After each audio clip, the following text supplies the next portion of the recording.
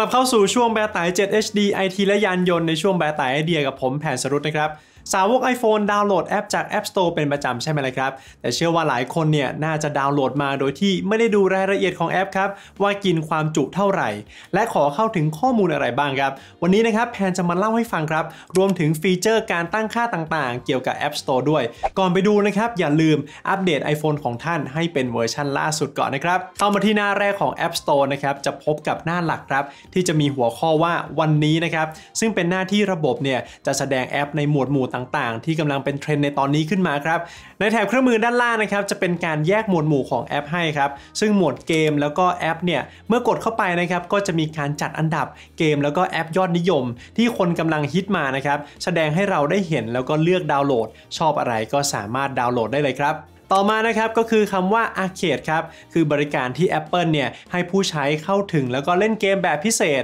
ไม่มีการซื้อภายในแอปเพิ่มเติม และก็ไม่มีโฆษณาขั้นด้วยครับ ซึ่งมีมากกว่า 200 เกมให้ดาวน์โหลดเลยทีเดียว แต่การได้ใช้งานนะครับจำเป็นจะต้องสมัครสมาชิก จ่ายค่าบริการรายเดือนนะครับถึงจะสามารถดาวน์โหลดได้อย่างไม่จำกัดครับเอาละครับเราไปดูวิธีการสังเกตรายละเอียดของแต่ละแอป ที่เราจะดาวน์โหลดกันดีกว่าครับเข้าไปที่หน้าแอปที่ต้องการนะครับตรงแถบกลางหน้าจอนะครับจะมีการแสดงรายละเอียดเบื้องต้นของแอป ได้แก่การให้คะแนนแอปจากผู้ใช้นะครับ ช่วงอายุที่เหมาะสมที่จะสามารถใช้งานแอปนี้ได้ การจัดอันดับแอปนั้นๆนะครับ ชื่อของนักพัฒนา ภาษาที่ใช้งานในแอปนะครับ แล้วก็ขนาดของแอปครับ เลื่อนลงมานะครับ ก็จะพบกับประวัติการอัปเดตล่าสุด เลื่อนลงมาอีกนะครับ ก็จะพบกับภาพแสดงตัวอย่าง ไปจนถึงการจัดอันดับแล้วก็ความคิดเห็น เลื่อนลงมาอีกนะครับ ก็จะพบกับความเป็นส่วนตัวของแอปครับ สามารถกดเข้าไปดูรายละเอียดได้เลยครับว่าแอปเนี่ยขอเข้าถึงข้อมูลอะไรของเราบ้างนะครับก็จะประกอบไปด้วยข้อมูลที่ทางแอปจะใช้ติดตามเรา ได้แก่ ID ผู้ใช้งานหรือว่า ID อุปกรณ์นะครับเพื่อไปล็อกอินในอุปกรณ์อื่น ระบบเนี่ยก็ยังจะสามารถจำได้ว่าเป็นเรานั่นเองครับ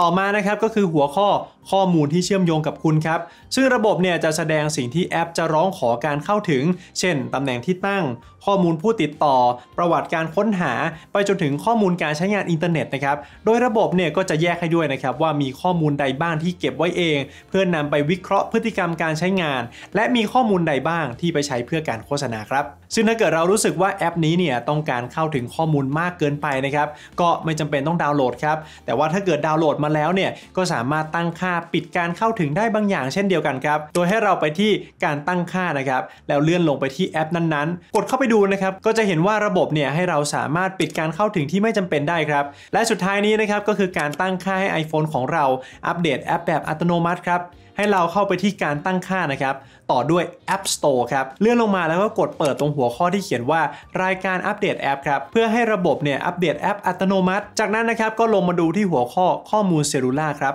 กดเปิดที่รายการดาวน์โหลดอัตโนมัติครับ เพื่อให้ระบบเนี่ยสามารถใช้สัญญาณอินเทอร์เน็ตในการดาวน์โหลดได้ครับ แต่ว่าถ้าเกิดใครที่กลัวเปลืองเน็ตนะครับ ก็ไม่จำเป็นต้องเปิดก็ได้ครับ ซึ่งระบบเนี่ยก็จะอัปเดตแอปให้เมื่อเชื่อมต่อกับ Wi-Fi เท่านั้นครับ จริง ๆ แล้วเนี่ย App Store เนี่ยยังมีการตั้งค่าอีกหลายอย่างนะครับ แต่ว่าพื้นฐานหลักๆ ก็มีประมาณนี้แหละครับ และนี่ก็คือแบไต๋ไอเดียในวันนี้ครับ